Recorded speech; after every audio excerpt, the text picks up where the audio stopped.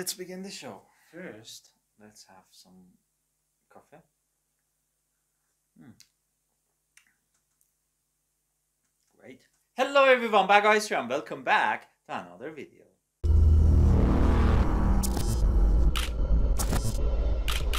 How's it going? Everything okay? Good to have a good great Dave Davis is smiling face, so smile a bit and keep continue. In this video, we are going to have a depth review on Canon EOS M50 and see what are all these buttons for. Thank you.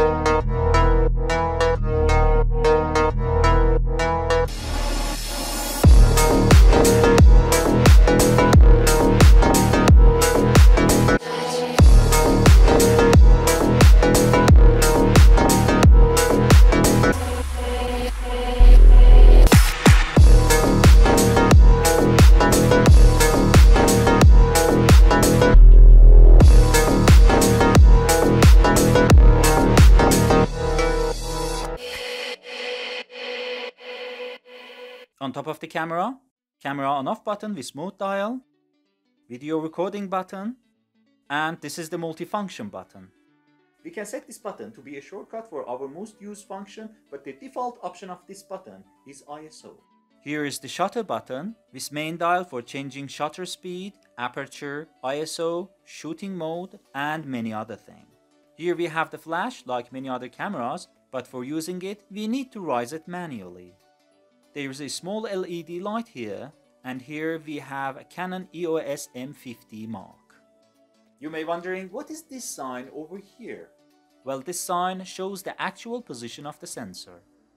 At the bottom of the camera, we have the battery and memory card place. Let's load them in.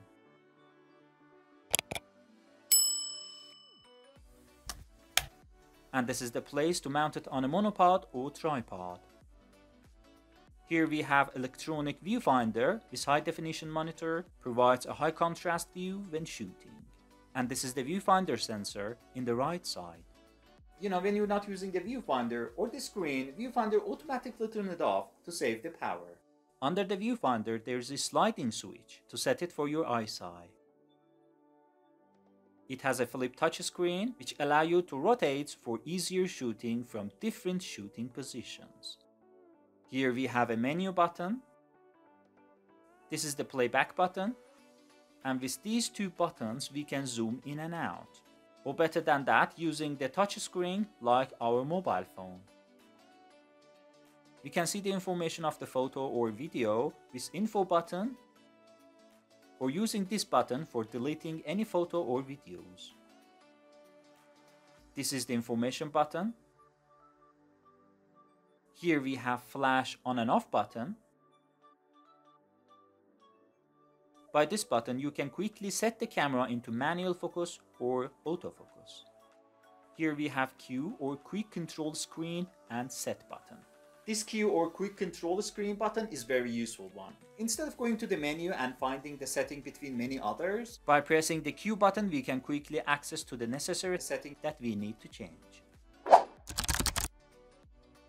And finally, this button allow you to set exposure compensation. On the right side, we have macro BUSB and macro HDMI type D ports. This button over here allows you to quickly connect to your device with Wi-Fi, Bluetooth, and even NFC. And an external microphone input port on the left side for having a good quality sound. In front of the camera, we have the lens release button and another LED light over here. You know when the subject is dark, it gives you an extra light for better focusing. I'm not in a dark place right now, am I? No. Are you? Haha, so we discovered everything on the camera. Yes. But where is the microphone and the speaker? Ah, you're clever. I know. well, that's a secret. Hmm, really? Oh, I'm just kidding. I know it, I know it! There are two microphones in front of the camera over here and the speaker is in the back of the camera under the touch screen on top corner over here. Ooh, they are really in a hidden place. Yeah, especially the speaker. Okay, let's load the 15 to 45 millimeter lens. For loading the lens, just put these two small white dots together, then turn it side. For releasing the lens to use, press the switch button and turn it side. Now we're ready to capture the moments. In photography, it has a high-speed continuous shooting of up to 10 frames per second. Look at this. Nice. If you're recording video in 720 or HD, we can get 120 frames per second. In 1080 or Full HD, we can record 25 up to 60 frames per second. Then how about 4K or Ultra HD? We have 4K with 20 frames per second, but it cropped it in sensor. What?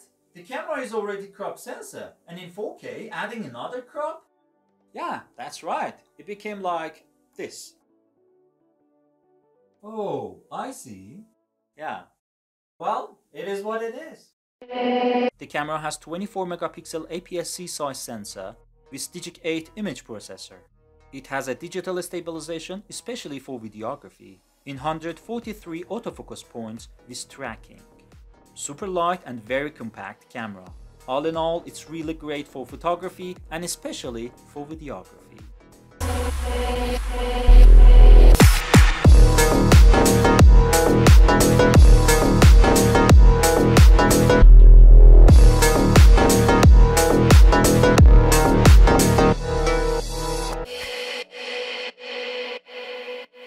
Thank you so much for